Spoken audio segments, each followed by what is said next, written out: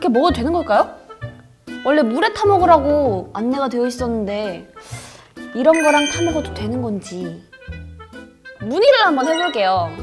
이거를 물 아닌 다른 것이랑 먹어도 되는 것인지 부작용 추정 사례 신고는 국번 없이 부작용 추정 사례는 아닌데 소비자 상담실이 따로 있네요. 아 이런 거 물어본 거 정말 죄송하다. 네 여보세요? 네. 네 안녕하세요. 저 어, 리얼 다이어트 네네. 먹어보고 어, 지금 구매해가지고 먹어보고 있는데요. 네. 궁금한 게 있는데요. 네, 말씀하세요. 어 이거 혹시 물 말고 다른 거랑 먹어도 괜찮은 건가요? 어, 다른 거라고 하면 혹시 어떤 거 말씀하시는 우유 같은 거 말씀하시는 거예요? 음, 아 우유도 있.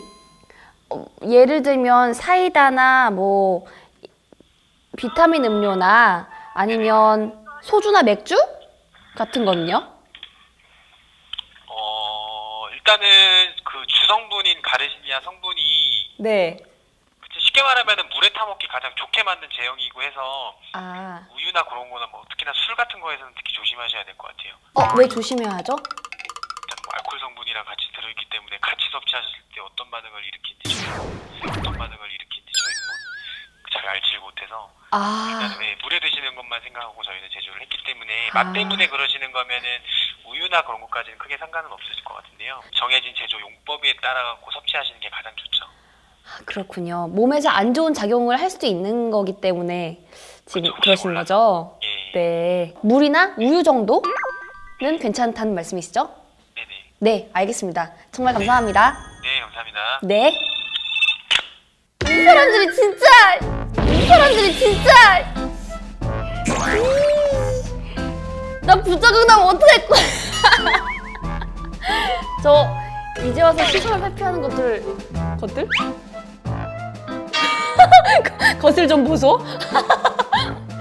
죽는 거 아니에요?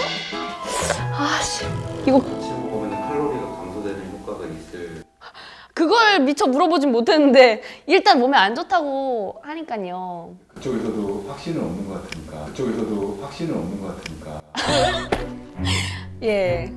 근데 여기 뭐가 뭔가 나는 것 같아. 간지러워 자꾸.